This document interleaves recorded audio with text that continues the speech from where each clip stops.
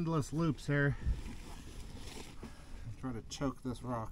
Get it out of here.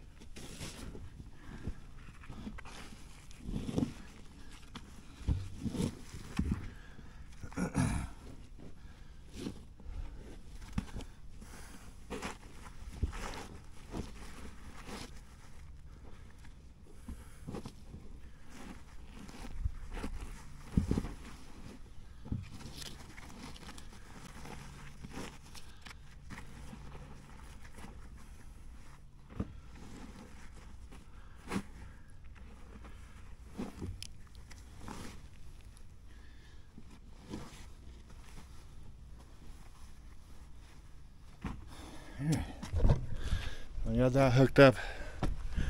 Get the truck started. Lower the boom.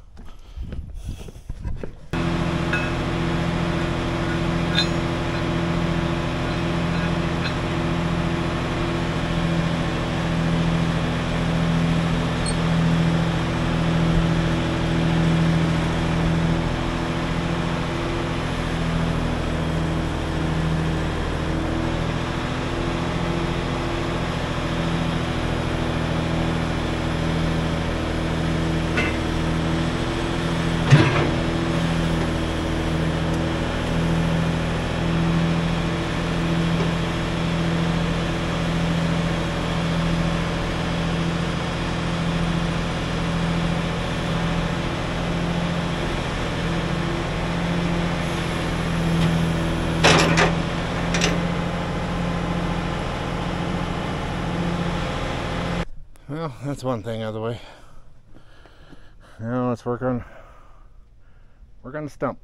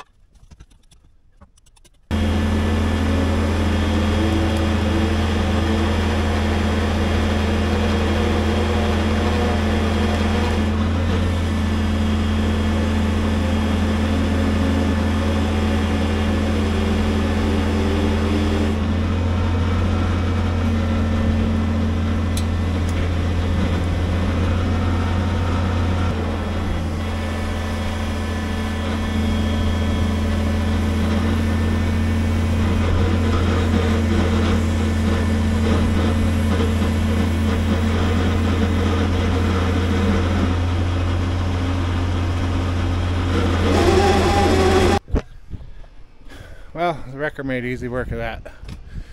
Way better than me trying to manhandle it or even trying to use the tractor. So, here's our hole. We still got some digging to do. So, alright.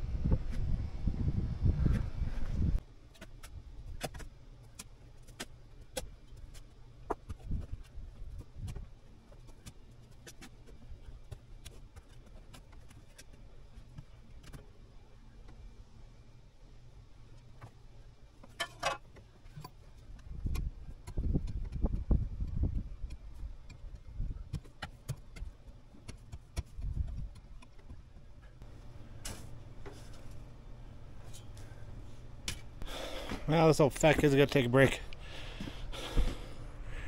Alright, so we've got a little bit further. We got found a ton more rock. So we got that one choked up and uh, we're gonna lift it out of the hole. And finish digging out my trench so I can get my gravel in there and compact it down.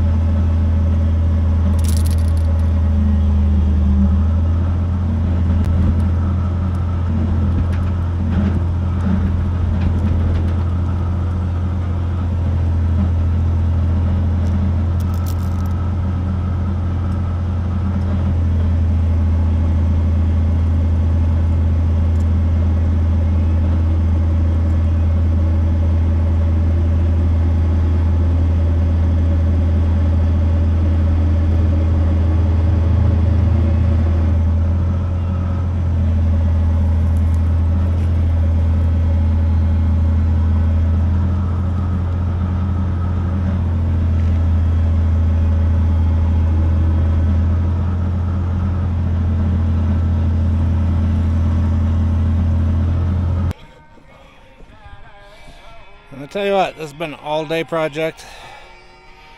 Finally got the last big rock out. Down in the hole. But we beat it. We could have went and rented an excavator, but you know, I was afraid of I didn't know where the electrical lines and all the water lines ran, so we did it by hand. Could have stopped by Home Depot and got me some manual labor, but I just decided to do it myself. So, tomorrow we'll be putting the fill in and getting the compactor in here and packing it all down. All right, till tomorrow.